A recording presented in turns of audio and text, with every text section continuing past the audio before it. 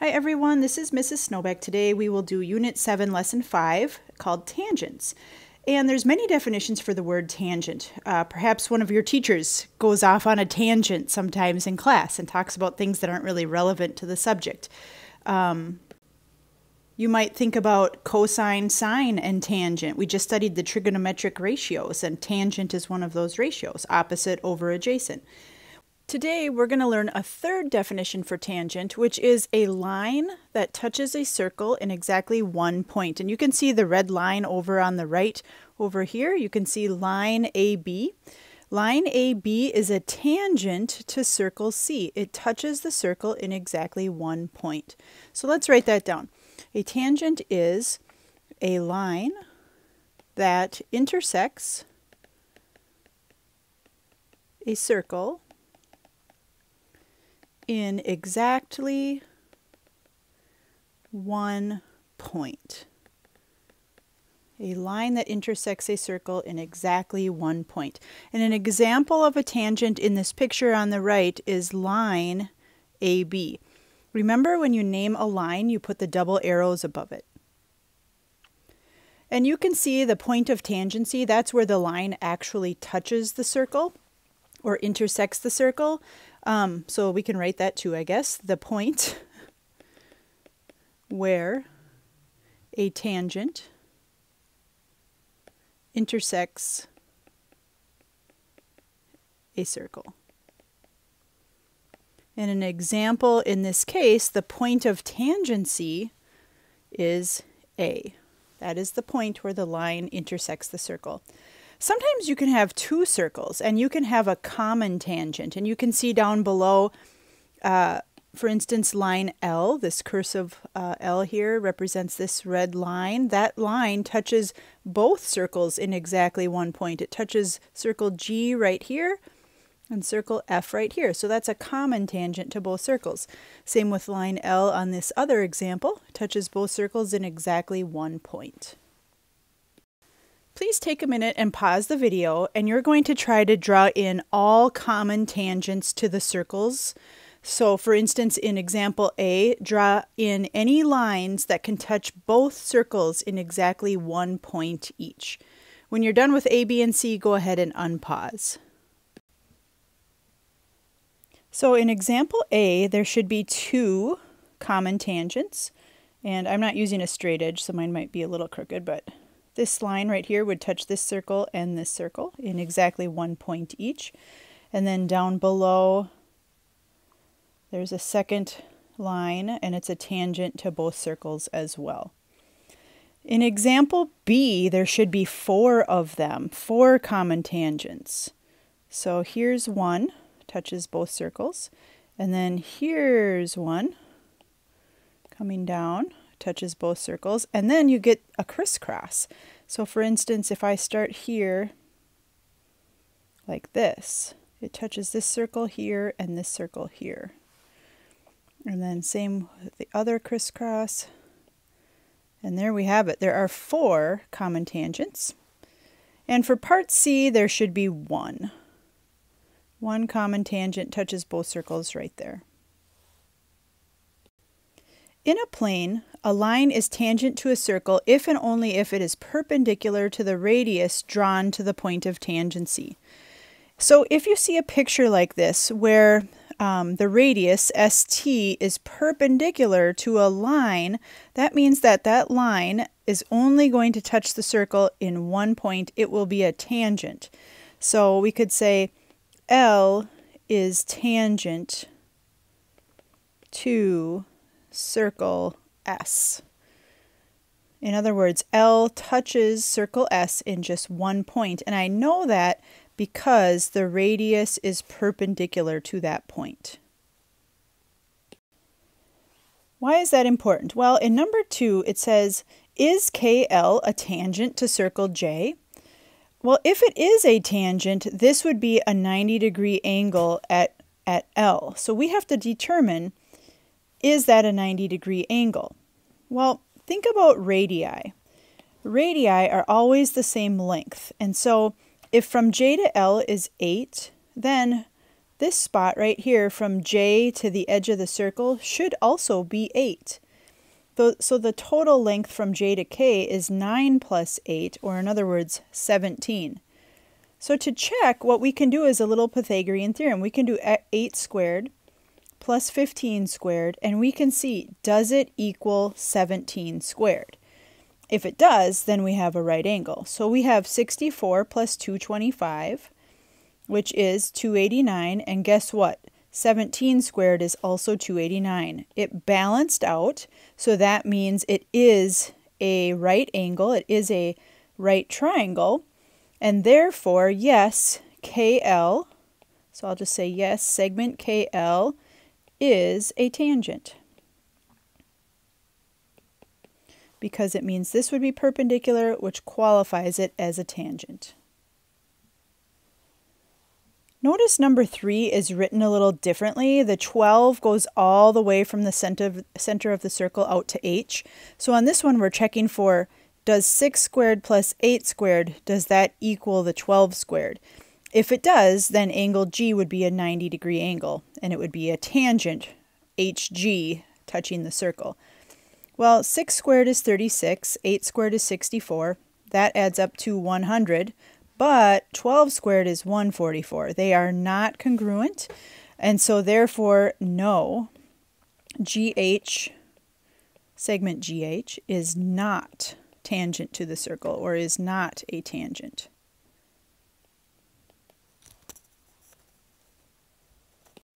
Here's one that's a little harder. It says find the value of x, assume that segments that appear to be tangent are tangent. What they're telling us is you can assume this is a 90 degree angle down at angle J. And so if that's a 90 degree angle, we can do the Pythagorean theorem.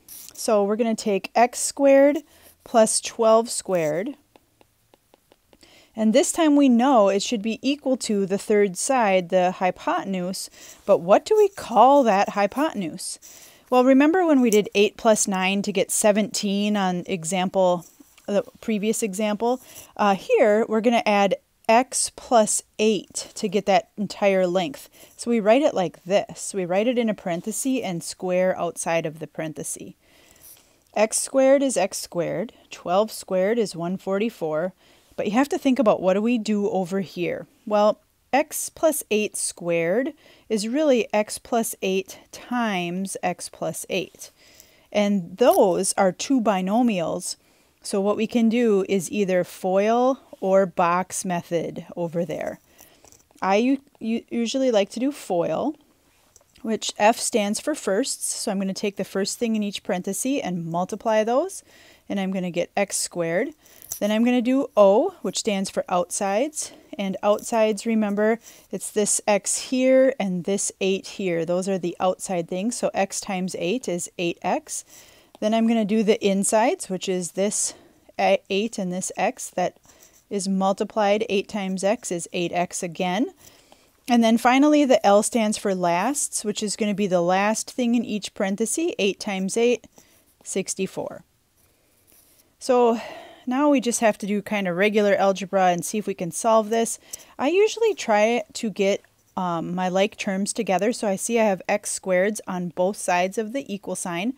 So I thought, why don't I get those together? Well, something cool happens. They cancel out here. They also cancel out here. So we're left with 144 on the left side. Then we have 8x plus 8x, which is 16x plus 64. Subtract your 64 Subtract your 64 from both sides, and I think you get 80 equals 16x.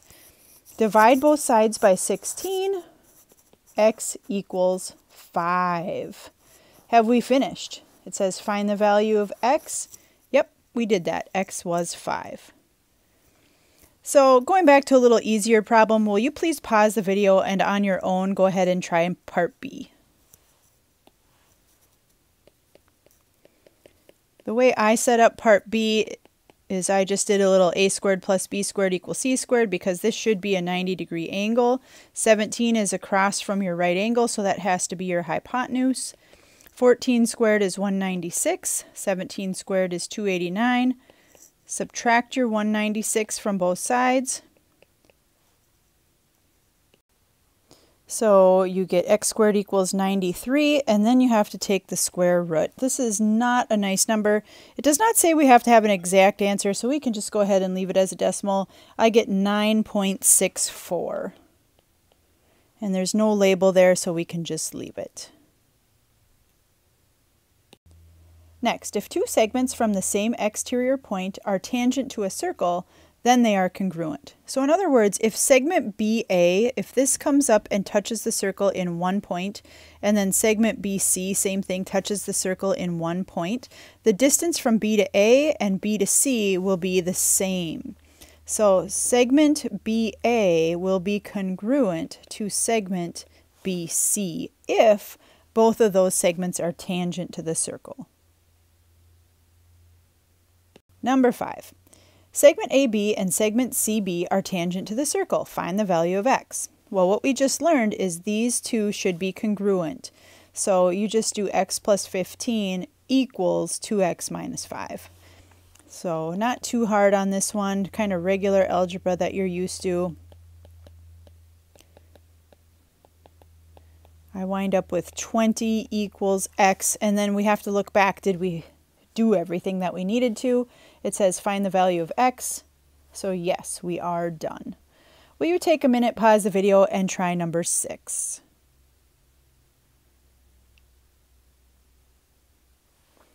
Since RQ and RS are both tangents, they should be congruent. So 3x plus 8 should equal the 26.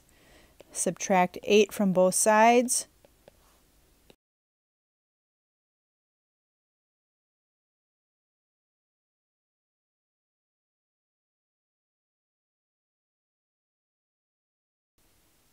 One quick review of some vocab. We learned the words inscribed and circumscribed. Remember, uh, circumscribed means it's around the outside. So in this case right here, you can see there is a triangle circumscribed about a circle. Here there's a quadrilateral circumscribed. And when they're circumscribed, each of those sides of the triangle are tangent to the circle.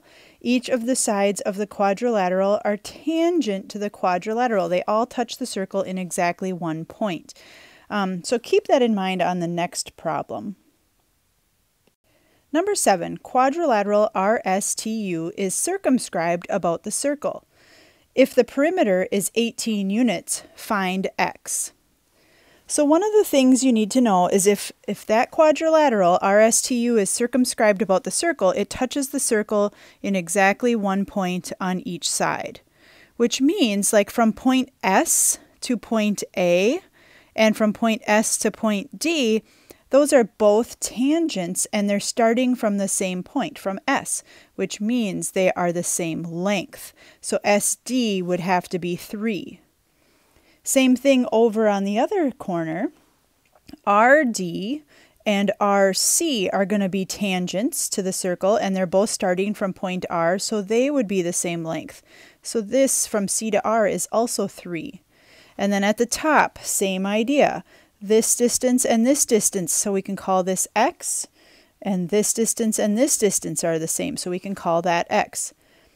Take a second, pause the video, see if you can write an equation Remember, the perimeter is 18 of the quadrilateral, so see if you can write an equation to solve for x.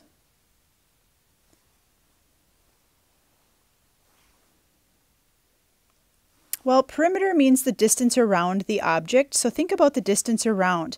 There are one, two, three, four x's. So if we add those together, and then if we add 3, 6, 9, 12, so 4x plus 12, all of that together should add up to the perimeter, which they told us was 18. So that's your equation. Add up all the distances around the outside of the shape. Subtract 12, you wind up with 4x equals 6. Divide by 4, and x is 1.5. Have we solved the equation or have we answered the question? If the perimeter is 18, find x. Yep, we found x was 1.5 units. All right, last question. Again, I'm gonna, this one's a little a bit of a challenge, but I want you to try it first. So pause the video and see if you can find the measure of angle RTP. When you've tried it for a while, then unpause.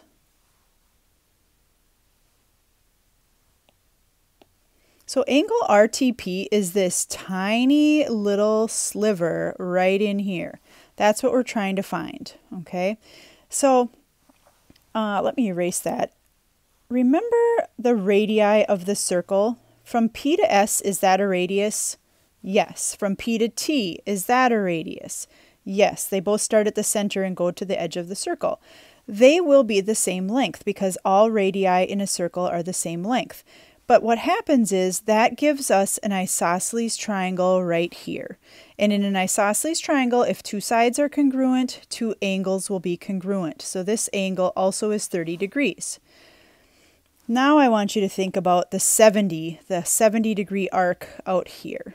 Okay, this angle RTS opens up to this 70 degree arc. So that angle RTS should be half of 70. Well, 70 divided by 2 is 35, so that's going to be 35 degrees. Now, remember, what we're looking for is this little sliver. So what I would do is take the 35 and subtract the 30, and you should have the sliver left. So 35 minus 30, of course, is 5 degrees, and that is the measure of angle RT Pretty cool. That wraps up Unit 7, Lesson 5. Will you please try the practice and let me know if you have any questions?